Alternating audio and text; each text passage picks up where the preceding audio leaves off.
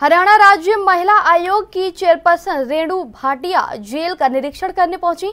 इस दौरान मीडिया से मुखातिब होते हुए उन्होंने कहा कि छह सालों में दूसरी बार करनाल में जेल का निरीक्षण करने आई हूँ। हम पहले जेल में बंद महिलाओं से बातचीत करते थे, लेकिन अब हमने एक नई पहल शुरू की है। अब महिलाओं के साथ साथ जेल में बंद पुरुषों से बात करेंगे। आज करनाल की जेल विज़िट मेरी इन छः वर्षों में दूसरी बार है। जब मैं मेंबर थी, तब एज मेंबर में आई थी और आज एज चेयरपर्सन आज का करनाल का हमने थोड़ा सा थीम चेंज किया है। हम लोग लगभग पूरे हरियाणा में केवल महिलाओं से मिलकर आ जाते थे, उनकी समस्याएँ सॉल्व करना, पूछना, वो सारा करके आते थे। परंतु पिछले कुछ दिन पहले मैंने जब पूरा सर्वे किया और निचोड़ निकाला कि जिन महिलाओं के साथ पुरुष भी बंद हैं, उन्हीं जेलों में, उनकी मेंटालिटी का कारण क्या है?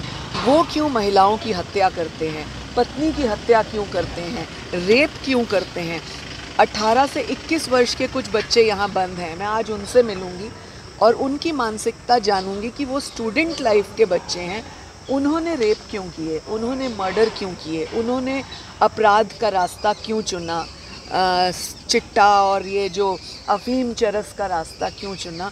क्योंकि मैं एक मास्टर्स इन क्रिमिनल साइकोलॉजी हूँ तो आज मेरी इस तरह की सोच का विषय है।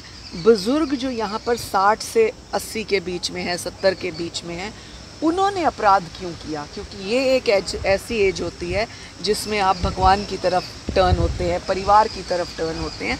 परंतु उनको ऐसी क्या मजबूरी थी? उनकी ऐसी सोच क्या है कि वो अपराध की तरफ़ गए? उन्होंने पत्नी की, परिवार की, बहू की, इस तरह से हत्याएँ की या उनके साथ डोमेस्टिक वायलेंस सीरियसली किया, या सामूहिक बलात्कार किया, या गंदी दृष्टि रखी महिलाओं के साथ जिस वजह से वो बंद है। तो ये साइकोलॉजी जानने के लिए आज मैं चार भागों में जेल के लोगों के मिलूँगी। महिलाओं को अठारह से 21 के बच्चों को, युवाओं को, जो 35-40 वर्ष की आयु के हैं, और फिर उसके बाद फिफ्टी फाइव से लेकर लास्ट एज जितनी भी हाईएस्ट एज तक के लोग हैं। तो चार कैटेगरीज में आज मिलने का प्रयास है। कुछ महिलाएँ जो जेल में बंद हैं उनके बच्चे भी उनके साथ रहते हैं उनकी पढ़ाई सुचारू रूप से चल सके। उसके लिए आप लोग क्या प्रयास बीच में हमारा रोहतक जेल का विज़िट था। वहाँ पर भी महिलाएँ थी दो बच्चे थे। इसी प्रकार गुरुग्राम जेल में इसी प्रकार फरीदाबाद की जेल में तो वहाँ के जितने भी सुप्रिडेंट होते हैं या जो भी इंचार्ज, इवन डीजी जेल से मेरी एक बार बात हुई इस विषय पर कि इन बच्चों को हम इस माहौल से दूर करें क्योंकि उनको बड़े होकर ये ना पता लगे। जैसे हम लोग अपना बचपन याद करते हैं कि हम बचपन में वहाँ रहते थे, हम बचपन के नानी के गए थे। उन बच्चों को ये ना याद रहे कि हम बचपन में माँ के साथ जेल में थे।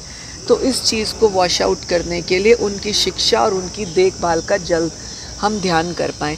परंतु कानून व्यवस्था कुछ ऐसी है कि एक सर्टन एज तक आपको बच्चा माँ के पास रखना होता है।